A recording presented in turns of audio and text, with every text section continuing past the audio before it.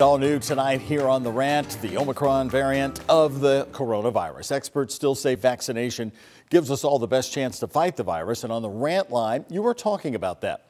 Plus, two topics really fired up the Rant line last night. Our story on the Louisville state lawmaker who wants to have marijuana decriminalized and also allow you to grow up to five plants and tax the plants in the sale of legal pot. Plus, running red lights. We've all done it. We know we shouldn't be doing it. It's very dangerous.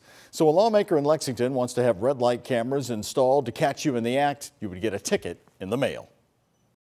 It's already been said that it can cause accidents because people slam their brakes on because they don't want to get a stinking ticket.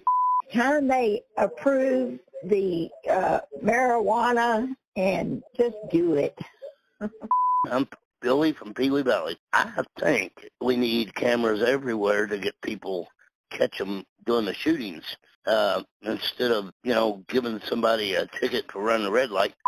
Well, my name is Maria, and my rant is legalize marijuana.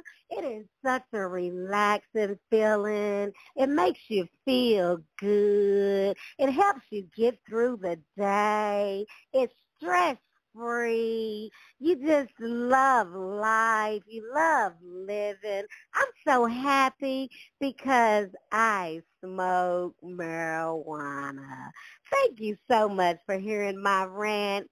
It's for medicinal purposes, purposes only. All right, Maria. Well, that's why the rant line is open to everybody. We thank you for your call and your opinion, by the way, on the variant and continuing to get vaccinated. Shannon, Louisville, I'm vaccinated, my own choice, and I feel safe and would do it again. Sarah Jane in Radcliff, my doctor recommended to get an antibodies test since I already had COVID last year and got the vaccine too. Waiting on the results from that. Before we proceed to phase four of the waterfront project, we had better accomplish phase one on restoring law and order to this city. More rants coming in from Tom in southwest Jefferson County. With the crime stats we're experiencing here, how can the governor blow 10 million on a parks project? Public safety comes first, and we don't have it. On the governor's hope to invest $10 million at the waterfront park expansion westward. And then Mark in Louisville on school choice. Uh, is it really a choice School choice, you're still stuck in JCPS. We need to change the way we fund the education of all Kentucky children to have true school choice. Allocate dollars to the parents and let the parents decide what is best for their children. The funds can go to public or private schools. Well, do you think the federal money set aside for the American Rescue Plan should give bonuses to the public workers who stayed the course stayed on the job during the most tense parts of the COVID shutdowns. For example, the mayor wants to spend $21 million on bonuses here locally. Here's how you can rant.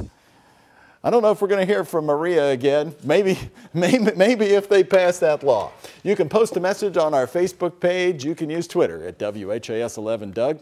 Keep your email coming to the rant at WHAS11.com. And the toll free rant line is open at 855 749 1101.